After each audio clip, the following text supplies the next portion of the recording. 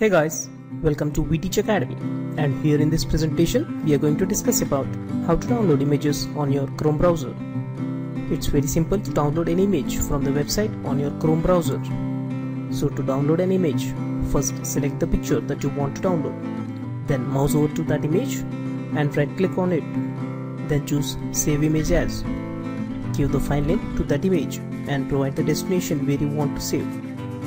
And when you are done, click save and let the download run. And you can see a new download file at the bottom of your window. Click on that file and view the picture that you have just downloaded. And you can view your download history anytime by clicking on the customize and control option located on the top right corner of your browser and select downloads. You can see a list of downloads that you have done on this browser so in this way you can download images on your Chrome browser.